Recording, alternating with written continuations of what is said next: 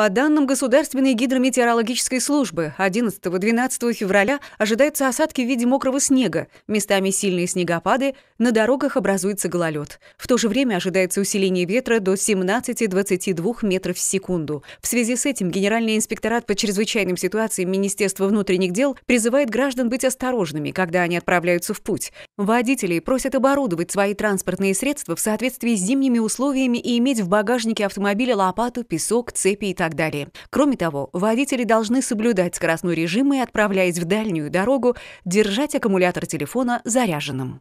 С 12 по 17 февраля температура воздуха резко упадет до минус 20 градусов по Цельсию на севере страны и до 19 градусов в центральной части и до минус 19 градусов в центральной части. Пожарные предупреждают население о необходимости соблюдения противопожарных правил в холодное время года. Граждан просят не перегревать печи, проверять дымоходы перед эксплуатацией, тушить огонь в печи на ночь и хорошо проветривать помещение, чтобы избежать отравления угарным газом. В то же время рекомендуют рекомендуется проявлять максимальную осторожность при эксплуатации источников тепла, электроприборов, а также установок, работающих на природном газе.